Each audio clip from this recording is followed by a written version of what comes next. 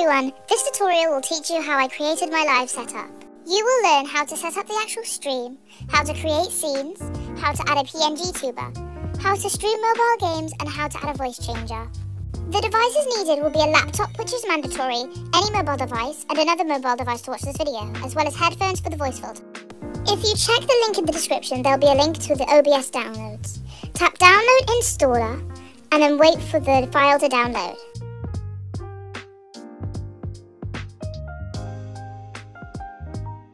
Once it is installed, tap Open File. Make sure to allow it to make changes to your device. Tap Next. Tap Next and then start the install. Tap Finish and then wait a few seconds for OBS to automatically open. OBS opens, you won't have all the images that I have as I insert them myself. Yours should look like this. Now I will explain what and where everything is and how it works. This is the scenes section. This allows you to swap between live stream screens. This is the sources section. This allows you to insert images, videos, etc. into your scenes. This is the scene transition section. This section is pretty simple. By changing this, it changes the way the transition between scenes look. This is the audio mixer. Using this, you can change the audio of any media, mic or anything else that produces sound. Now that you know how OBS works, create two new scenes. Name the first scene Intermission. Name the second scene Starting Soon.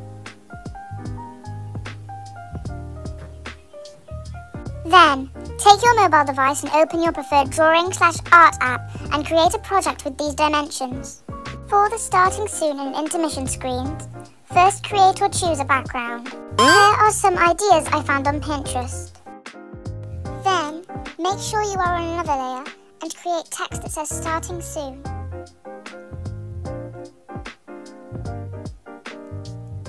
Then, go on layers and save the starting soon text as a transparent layer then hide it and save the image. Then, open any app with keyframes and create a simple up and down animation with the text. A few examples of apps that can be used to do this are KineMaster, Alight Motion, and CapCut. If you do not know how to animate, you can use this for free. You can screen record them or download them using the link in the description. Then, upload the videos to Google Drive. This will be how you'll get them from your mobile device to your laptop.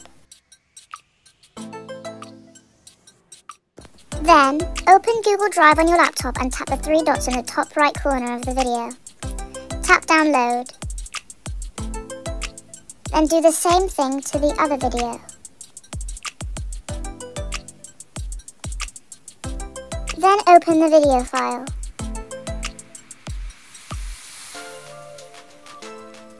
Tap the three dots in the bottom right corner. Tap Properties, and then tap Open File Location. Then, put the video in a file in a folder in some way you'll definitely remember.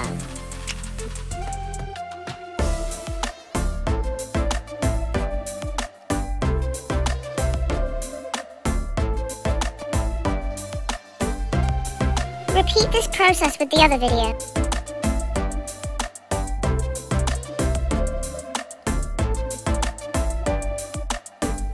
Then, open OBS again. Tap the intermission scene. Then go to sources and tap the plus. Select media. Media source. tap OK. Tap browse. Find the file with the videos and select the I'll be back video. Select loop and tap OK. Selecting loop is very important. Do the same thing, but with the other video. Don't forget to select loop. Then, go back onto your mobile device and go onto your editing app from earlier. Remember to use these dimensions. This will be for your main stream where you can show your mobile screen. Here is a free template. Feel free to screenshot it, and if you cannot, there will be a link to download it in the description.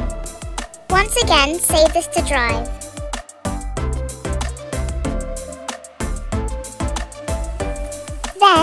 The dots in the top right corner again, tap Download, and download the image. Open the file, and this time, unlike before, tap the dots at the top, then tap Save As. Then find the file, I mean folder, that you saved the others in, and save it in there. Open OBS again, and then go into Sources and tap the plus like earlier. Find Images and tap it. Like before, tap OK and then Browse. Find the image and tap Open. Tap OK. To be able to stream your mobile screen, install the Prism Live streaming app on mobile. Also download Prism Live Studio on laptop. Link to the website is in the description.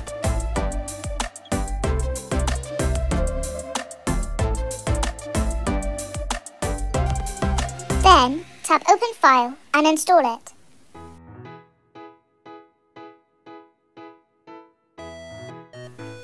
Tap Install. I tried to reinstall it for the tutorial, but I could not install it twice. Sorry. When you open Prism Live, it should automatically be set to webcam. If you tap this at the top, you can tap Prism, connect Prism Mobile, meaning you connect your mobile device by scanning the QR code. Scanning the QR code in normal photos will not connect you to Prism Live on laptop. Make sure to go into the Prism Live app and tap Connect. When you scan the QR code, this will come up. Tap Screen, then Connect. Make sure your microphone is off, then tap Start Broadcast. After you do this, everything that happens on your mobile screen will come up on your laptop.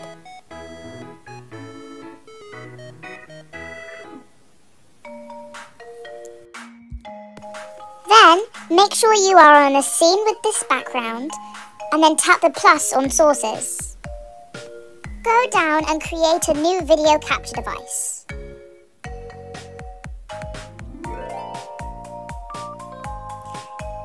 Go to Device tap Prism Lens 1. Tap OK and then resize it so that it fits the background.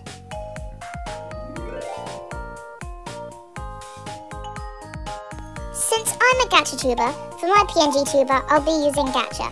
If you're doing Gacha, or if you aren't doing Gacha, take two images of your OC. One with its mouth open, or one with its mouth go closed. if you're not a Gacha tuber, feel free to draw yours instead. If you're a gacha tuber, or if you aren't a gacha tuber and your background is green for some reason, remove the green background and make sure both of the images, one of the mouth open and one of the mouth closed, are both transparent PNGs. Once again, insert these images to Google Drive.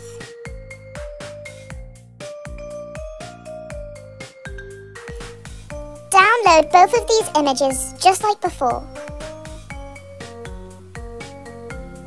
Then open the file tap the three dots and click Save As. Save it to a folder that you'll definitely remember where it is. Then repeat this process for the other image. Go on the Veadotube Mini website. There is a link to this in the description of my video. Tap Download Now. Tap No Thanks, just take me to the download so you don't have to pay for anything. The Windows download, or whatever laptop you're on. Tap Consent. Wait for the download. When it finishes downloading, click the file, tap Veadotube Mini, extract all, and then tap the finished game. When you open Veadotube Mini, it should look like this. If you tap the image in the top right corner, and then tap these icons, and tap Remove Image.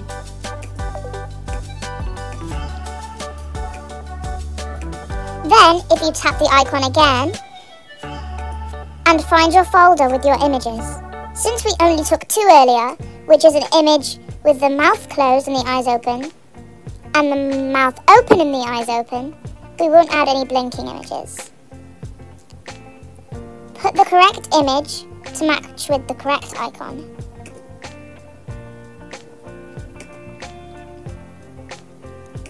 Beep, beep, beep, beep. Hi. Oh. Okay. If you tap this icon, you can decide how they move and at what time.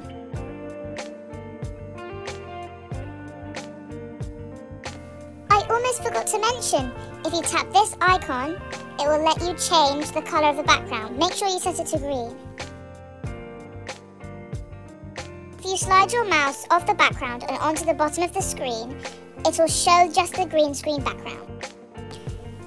Actually insert the character into OBS, tap the plus button, and then game capture. Tap OK, and then tap capture specific window. Select window and then select Veadotube Mini. Tap filters. Go down to effect filters and tap the plus. Tap chroma key and tap OK.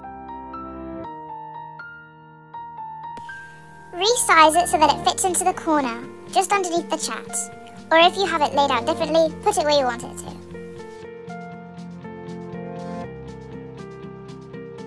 Open the Stream Elements website. There is a link to it in the description.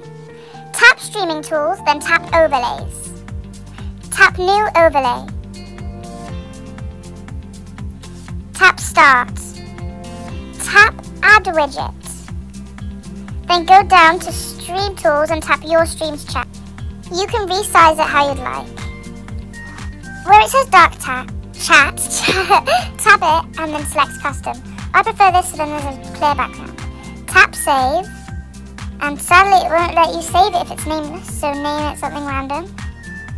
Then tap the link icon, the paperclip icon, and then go back to OBS tap the plus, select browser,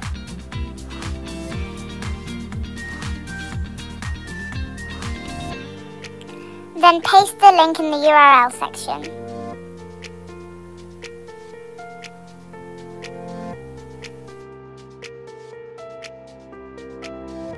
You can resize and adjust the placement on the stream.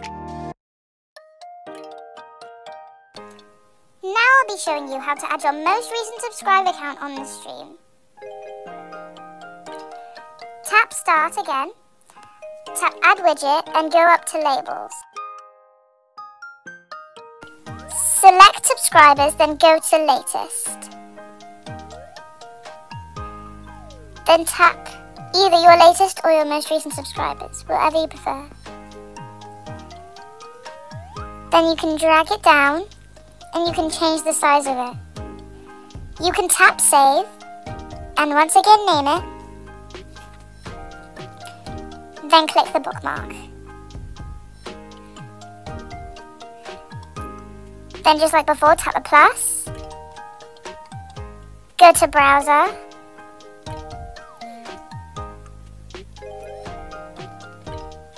And then paste the link just like the last one.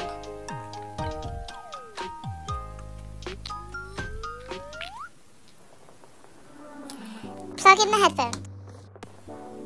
Click Settings. Go to Audio. Go to Mic Auxiliary Audio and select the headphones. Tap OK. Tap the three dots next to your newly added sound. Tap Advanced Audio Properties and then select Monitor Off and set it to Monitor and Output. Now you should be able to hear your voice. Install Auburn Sounds Graillon 2. There's a link to it in the description.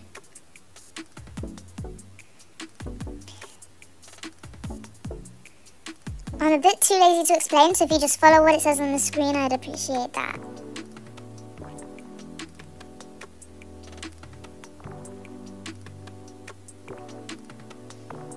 Tap the three dot next to the mic, and then tap filters. Go down and tap the plus.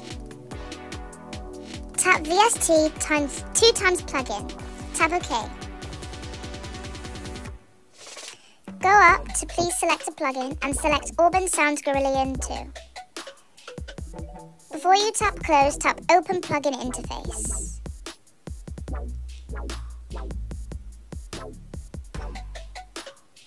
If it disappears, then tap the OBS icon at the bottom and then it should come up again. To summarize the voice filter, if you move this wheel to the right, it will make your voice higher. And if you move the wheel to the left, it will make your voice lower. Really hope my tutorial helped at least one person. I'd really appreciate a subscribe if it did. Have a lovely day.